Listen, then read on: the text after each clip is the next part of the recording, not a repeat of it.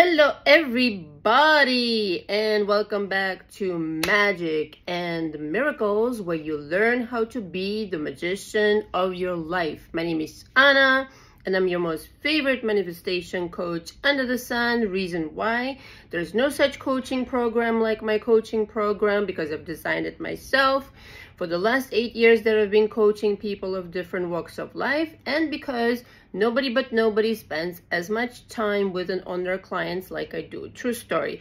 All information from me is below. Depends what kind of um, personality you have. I coach in audio exchange, in Zoom sessions, for the visual interaction like this, and in phone conversations of which there are two kind. One is deluxe for the most hand-holding that I can possibly offer in my coaching program other than the speed course, all of which the descriptions you'll find below.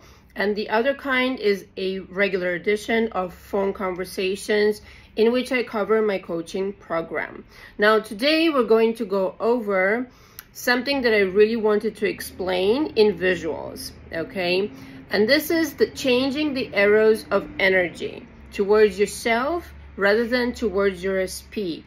And most of you who come into my coaching have the same more or less the same problem is when this person came into your life, you completely forgot who you were if you ever knew that. Okay, so this person served as a catalyst for you to realize who you are however traumatic it was however dramatic it was okay it he or she woke you up to the idea that maybe you don't have your shit together in other words.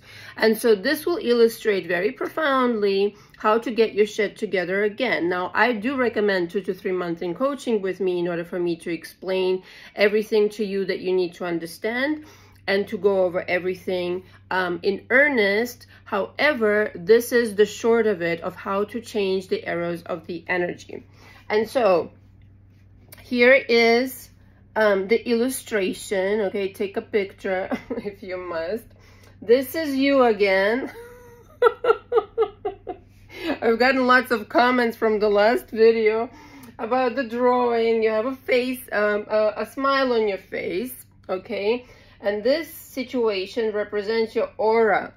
Now, this is an entirely different uh, video for another time, but essentially you need to invest in your aura, the kind of energies you have going on, excuse me, and that has to do with drama, trauma, panorama, the unreleased emotions, energies, belief systems, blah, blah, blah, blah, blah. Lots of things that I do cover in my coaching extensively for you to get a reset on your life. But essentially in this aura, this is your kind of situation that you're walking around in day in and day out.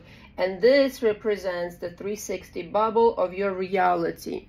Now notice how you are in the center of it all. And that's a representation of you being the golden Buddha, that you are attracting the reality. You are being the focus of everybody and everything else rather than you being outwardly focused. Okay, so pay attention. This will come in handy just in, in a little bit here. And so I start or we start, okay, and in my coaching, this is what I really focus on, on you, Y-O-U, universe. This is how I spell universe Okay, we start with identity. I don't know if everybody can see, but I kind of had to write in the small letters to fit everybody everything in. Identity. What kind of an identity do you have? What kind, and that of course includes beliefs. What do you believe about yourself? What do you think um, your worth? What do you think about every single day going into your day, okay, and going to sleep at night? self-love do you experience self-love or it's self-loathing most of the time okay do you do nice things for yourself etc personal development this is abbreviated clearly because i didn't have enough room um, are you working on something are you participating in something that betters your life are you coming in into Anna's coaching? I mean, these are the questions you have to ask yourself in life. so this is the number one priority that you need to invest in. Okay, without this, this is right on top of your head because it's priority numero uno.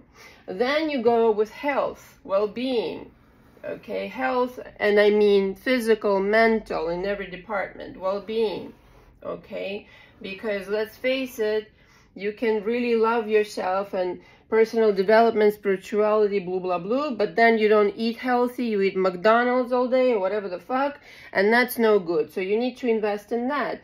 Then comes Marie, uh, Maria, sorry, money, career. Hi, Maria. I actually know a Maria on my channel. Money, career, job, projects. Okay, so that is an extension of you um, relatives, family, partner, SP, social life, interests, hobbies, and the rest of the fucking world, whoever the fuck that is.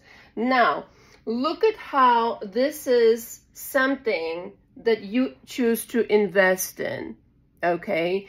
These are things that you're participating in, but for the most part, you are right here.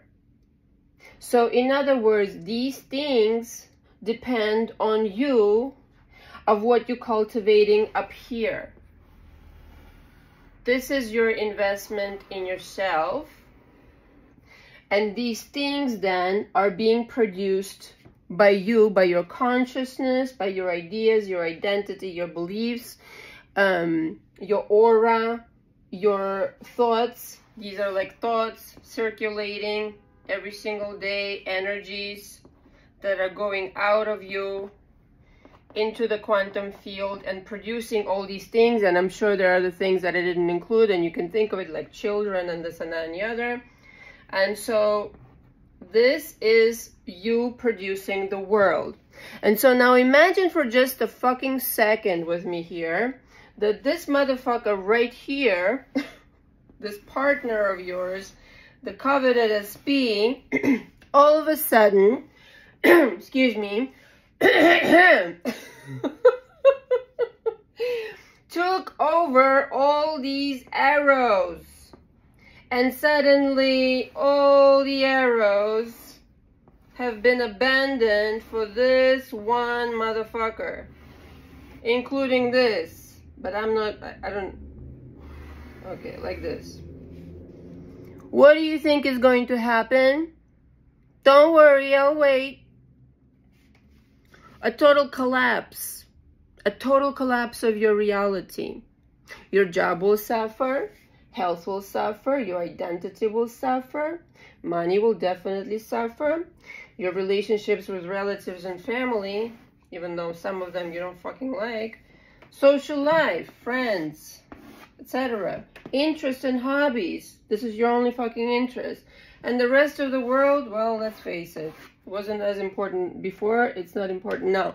However, my point is, is that this is just a part of life.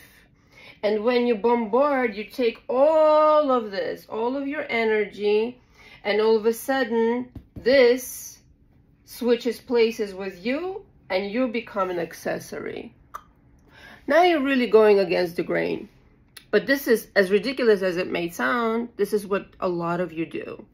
And so now imagine you put this guy or girl, because I'm tired of calling them motherfucker. Um, I just want to stress a point how ridiculous this is. You place them here. And this becomes your God. This becomes the ruler of your universe. By definition, this is against the laws of the universe because only you are the God of the universe and you make an actor of your play an accessory of your world, your ruler, the ruler of your universe who all of a sudden took over all of the components of your happy life. That does not make any sense.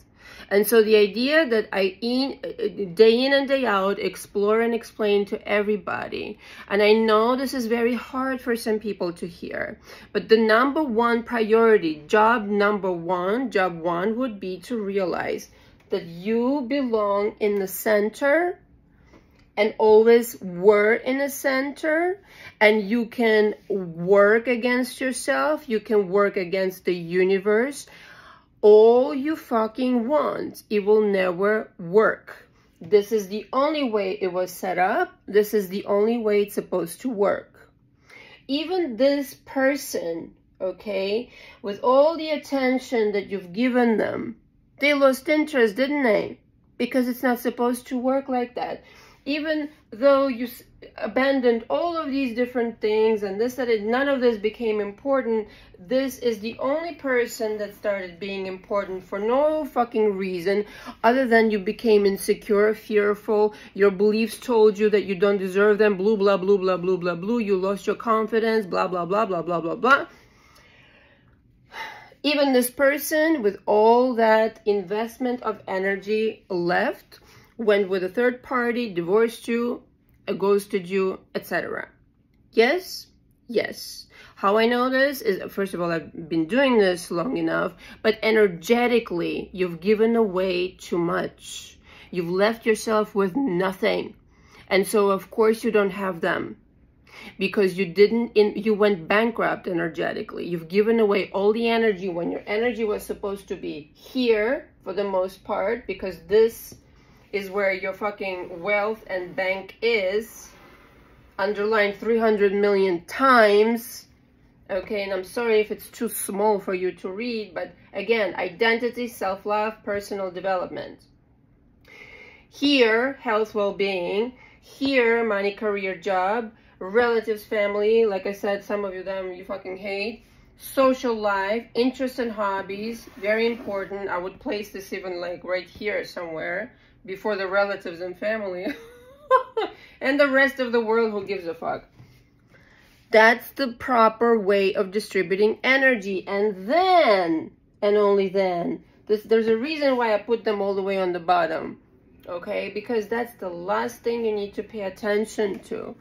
Haven't any of you met your perfect person once upon a time when you weren't even looking, when you were thriving, when your life was splendid and the birds were chirping and the butterflies were flopping their wings and everything, not a care in the world, everything was going smoothly and voila, he or she walked into your life. I know I've experienced that with my person. I wasn't looking for shit okay I, that my mind wasn't on it. I wasn't obsessing i wasn't needy. My energy was free and happy. I was happy about myself and i'm sure a lot of you were, uh, found themselves in this position at some point or other. True or not true? Yes true. And so by definition you created an environment in your life by this person walking in effortlessly. And I'm here to tell you, if you want to have your darling SP back, you need to have the right fucking spot for them in your life.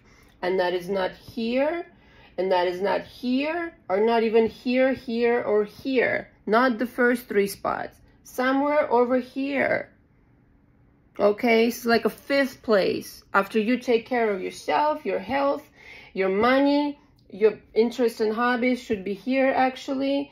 And then maybe they come before relatives or whatever, however you have it. But you come first. Because otherwise, you don't have anything to offer yourself, much less to them. And they will inevitably lose interest. And energetically, it, it's constructed in a way that they do. Because you gave away all the energy to them. Nobody wants that type of attention. They don't. You think that they do, but they don't.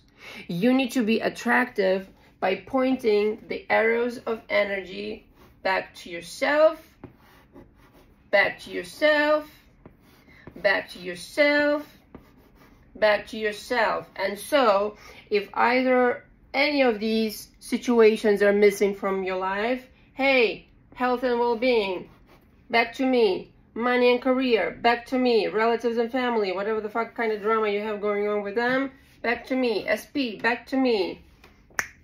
Back to me, puppy.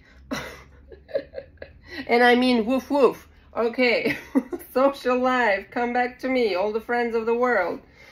Um, interest in hobbies, here I come. Or here you come back to me in the most amazing ways. And the rest of the world just about kisses my nice, lovely ass. You see how it works? Because you're in the center and you should behave like you're in the center. This is just an accessory. Don't give an accessory all the power that you innately hold. It's a mistake. It will continue being a mistake until you position yourself correctly, and then you know what to expect. Real life results. Thank you very much for watching. All the information from me again is below. Until next time. Ciao, ciao.